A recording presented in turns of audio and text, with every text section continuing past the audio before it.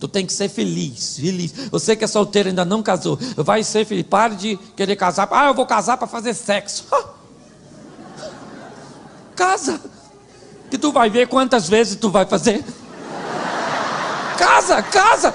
Tu pensa que casamento é passaporte para fazer sexo à vontade? Quem me dera isso, é verdade? É eu, hein? Ah, eu vou casar para fugir de casa, foge!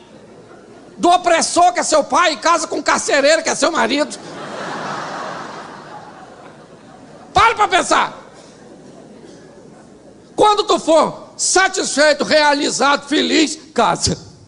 E outra coisa, não acha ninguém perfeito. Porque se tu achar, pelo amor de Deus, deixa essa pessoa em paz.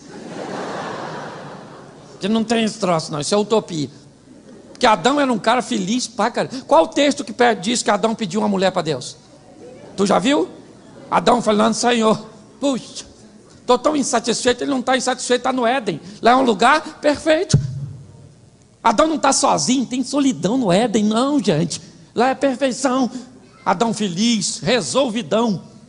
Era o tal do Adão, realizadão.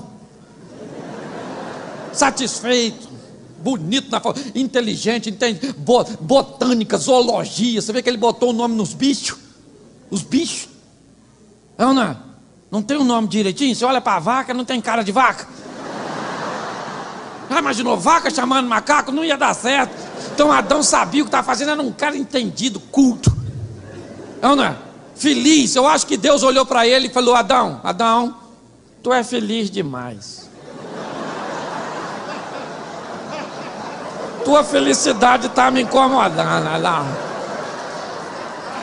Vai dormir que eu vou arrumar um problema para tu, camarada.